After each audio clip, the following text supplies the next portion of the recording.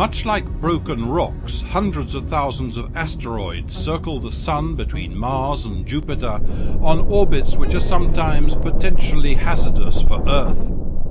Others orbit at far greater distances.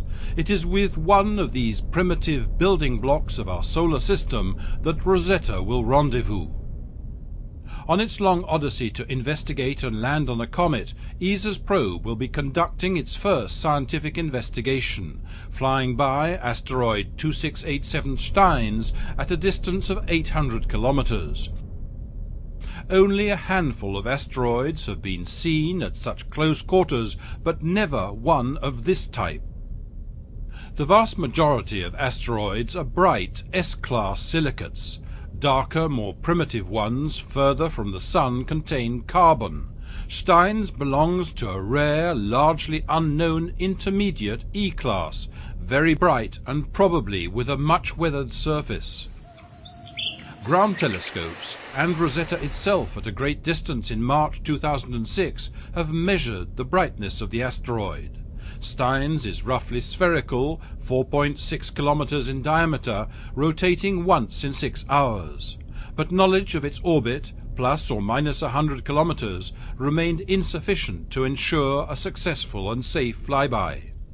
So, since the start of August, Rosetta's navigation cameras and the imaging spectrometer OSIRIS have been tracking the asteroid, still a distant speck of light 24 million kilometers away. These measurements will allow the orbit to be defined to within a few kilometers. Forty minutes before closest approach, Rosetta will flip over 180 degrees to keep the asteroid in view and at the same time fly in a thermally safe attitude.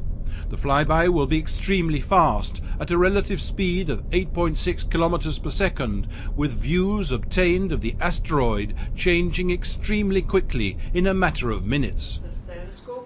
For over a year, Rosetta scientists and leading asteroid experts have been planning this encounter. All the probe's science instruments will be active at some point, but the most spectacular data are expected from the OSIRIS camera, which should provide high-resolution imagery, discerning objects only 14 meters in size. The Virtis spectrometer will obtain light curves, providing a mineralogical map of the surface, whilst the ALICE ultraviolet spectrometer will search for signs of any thin, tenuous atmosphere around the asteroid. Indications that all has gone well and the reception of the first images are expected at the European Space Operations Centre some two hours after the encounter.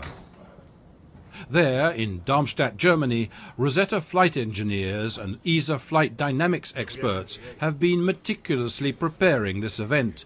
The flyby, in effect, will be pushing the spacecraft to its design limits, and numerous contingency scenarios have been envisaged in case of any anomaly.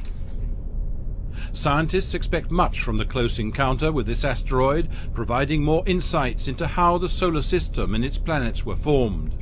However, the Steins flyby will also be a crucial rehearsal, putting the Rosetta spacecraft through its paces for the next rendezvous, for the much larger asteroid Lutetia in 2010, and of course for the mission's final objective, orbiting and landing on comet Churyumov-Gerasimenko in 2014.